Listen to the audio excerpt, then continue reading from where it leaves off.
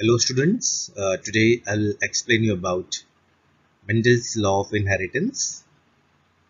Mendel postulated three laws, law of dominance, law of segregation and law of independent assortment.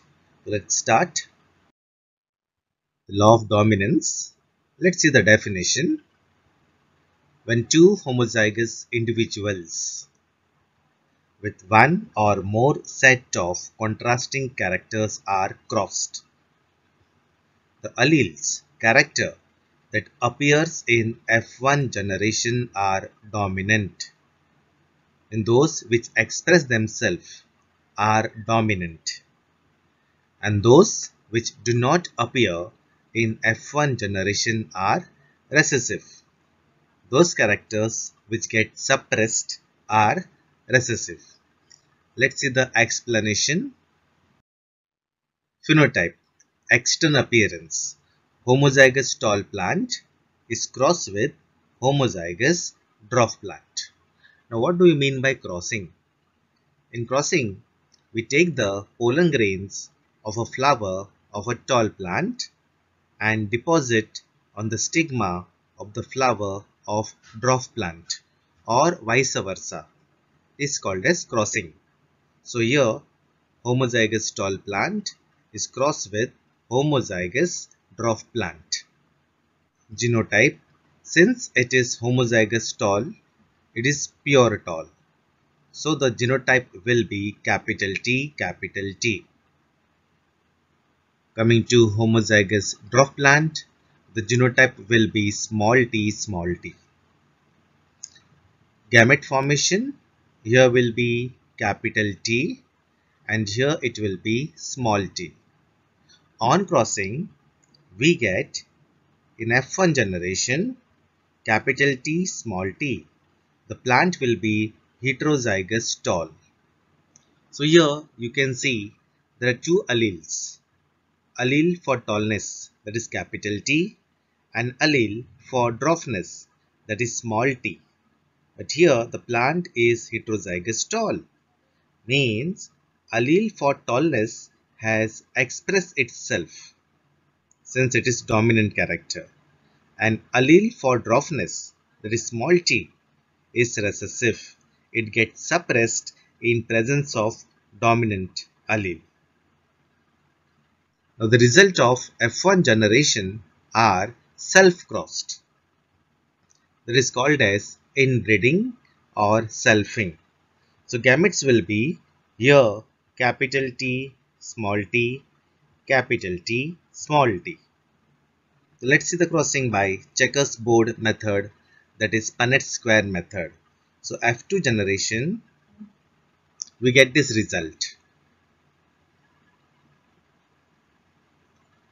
There are four plants out of which three plants are tall and one plant is dwarf. So the phenotypic ratio will be 3 is to 1. 3 plants are tall, 1 plant is dwarf. Coming to genotype, you can see here one plant is homozygous tall, two plants are heterozygous tall and one plant is homozygous dwarf. So the genotypic ratio will be 1 is to 2 is to 1.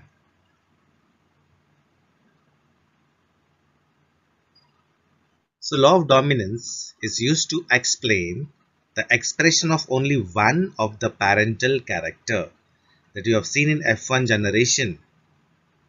Allele for tallness expressed itself of a monohybrid cross in F1 generation and the expression of both in F2 generation. You have seen both the alleles express themselves in F2 generation, especially allele for dwarfness. It is a recessive character. But when the recessive alleles are in homozygous condition, they will express themselves. That is homozygous dwarf. Second is law of segregation called as law of purity of gametes. Mendel's second law.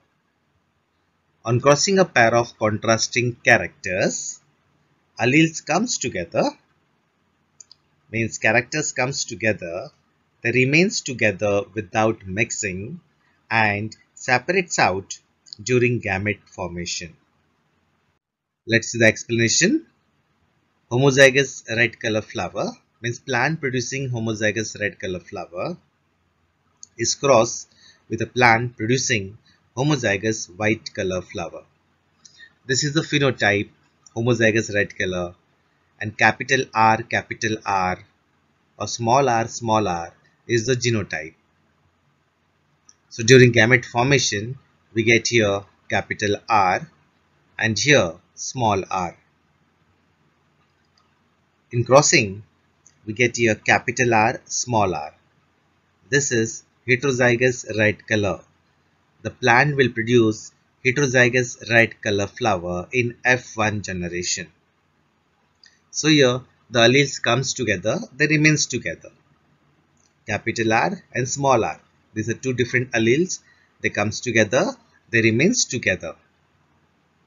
Now, when we go for self-cross, when we do selfing, inbreeding, the result of F1 generations are self-crossed.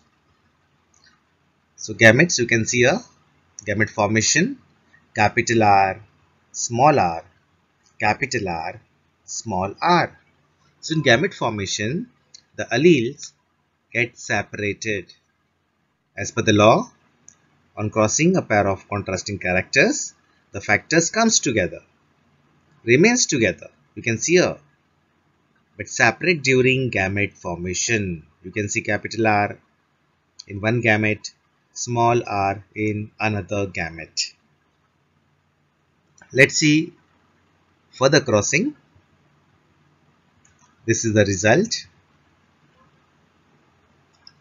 Out of four combinations, three plants will produce red color flower and one plant will produce white color flower since it is in homozygous condition. There is a phenotype that is 3 is to 1 and the genotype will be 1 is to 2 is to 1 one plant will produce homozygous red color, two plants heterozygous red color, and one plant homozygous white color. So this law is based on the fact that allele do not show any blending or mixing. As I've told you, the allele comes together, remains together without mixing. Capital R and small r, they were together without mixing and they separate it out during gamete formation. And both the alleles characters are recovered as such in F2 generation. Though one of this is not seen at the F1 stage. As in F1 stage you have seen plant producing red color flower, not white color flower. So the white color flower, it was not seen in F1 stage but it was seen in F2 stage. So during formation of gametes, these two alleles, factors, obviously separate or segregate. Otherwise, recessive type will not appear in F2 generation. You can see over here, again in this diagrammatic representation, the gametes which are formed are always pure for a particular character that is trait. Gamete may carry either dominant or recessive factor but not both. As you can see here, gamete either carries capital R, allele for red color or it carries small r, allele for white color flower but not both. And that's why it is called as law of purity of gamete. The statement of law of segregation, the law states that when hybrid F1 forms a gamete, the alleles segregate from each other and enter in different gamete. And uh, the gamete formed are pure in that they carry only one allele each. Hence, this law is also described as law of purity of gametes. Mendel's third law, law of independent assortment. This law is based on dihybrid cross. In Mendel's law of dominance and law of segregation, we have considered only one pair of contrasting character, that is monohybrid cross.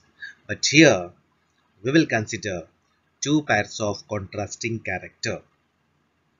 The two pair of contrasting character dihybrid cross.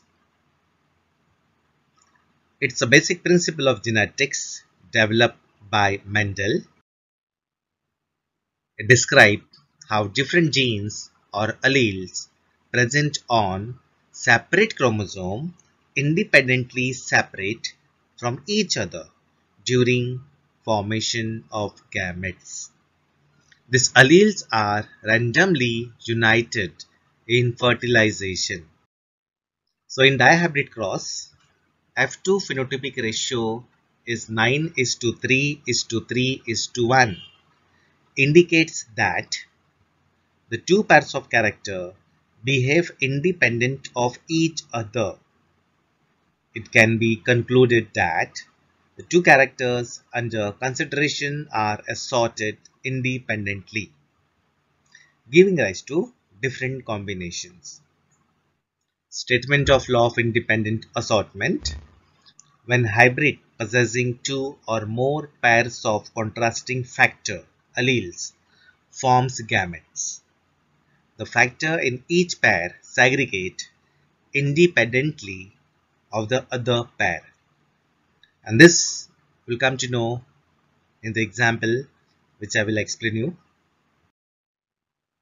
So dominant, one is dominant character, another is recessive character. Here we are considering two characters. The first is shape of seed. Round shape is dominating over wrinkled. This is one character. Second is color of seed. Yellow color seed is dominating green color seed. So here we have considered two characters, shape of seed and color of seed. Regarding shape of seed, dominant one is round, recessive is wrinkled shape. Regarding color of seed, dominant is yellow, recessive is green color seed. So the phenotype, plant producing round shape seed, yellow in color, is crossed with plant producing wrinkled shaped seed green in color. So the genotype will be capital R, capital R for round, capital Y, capital Y for yellow seed. And the genotype here will be small r, small r, small y, small y.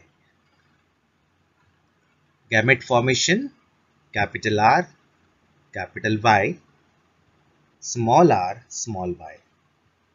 After crossing, you get round yellow heterozygous form capital R, small r, capital Y, small y in F1 generation. When the result of F1 generation are self-crossed. So you get here four types of gametes. You can see a capital R, capital Y, capital R, small y, small r, capital Y, small r, small y. Please note here, we have considered two plants, one plant producing round yellow seed, another plant producing wrinkled green seeds. These are two combinations. There will be two more combinations as per law of independent assortment. So here four types of gametes are formed. So you will get this result. There are 16 combinations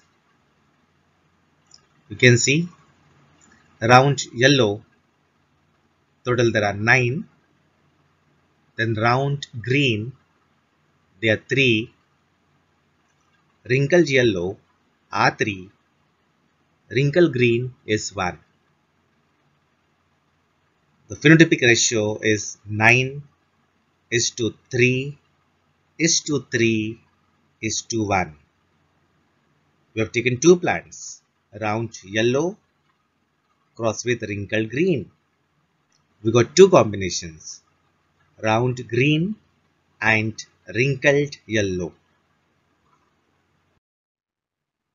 So round yellow 9, round green 3, wrinkled yellow 3, wrinkled green 1. Phenotypic ratio is 9 is to 3 is to 3 is to 1.